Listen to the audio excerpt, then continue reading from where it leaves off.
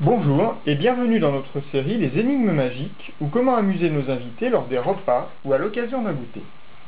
Aujourd'hui, nous allons transformer une feuille de papier rectangulaire en une échelle en un seul coup de ciseaux rectiligne.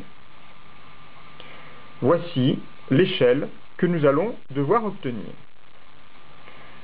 Pour pouvoir le faire, nous allons partir d'une feuille de papier qui aura la longueur et la largeur de l'échelle voulue. Saurez-vous la plier convenablement et donner le bon coup de ciseau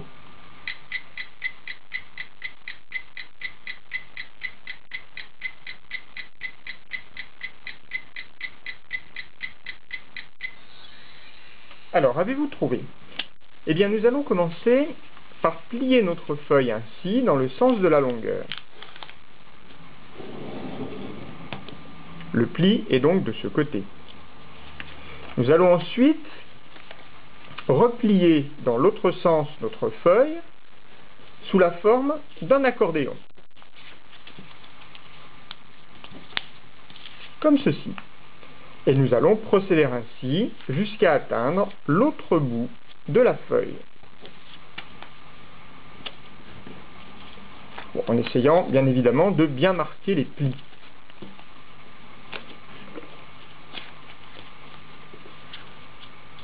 Voilà. Nous obtenons alors un accordéon. Nous allons placer le côté du pli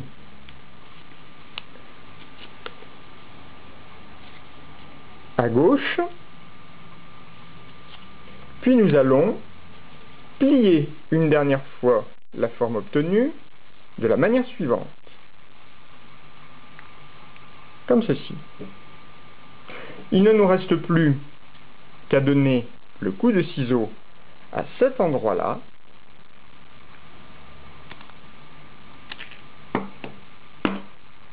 puis à déplier notre forme pour observer ce que nous obtenons.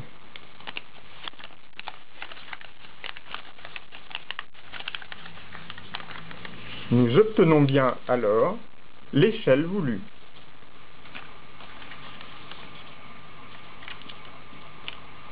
Étonnant, non?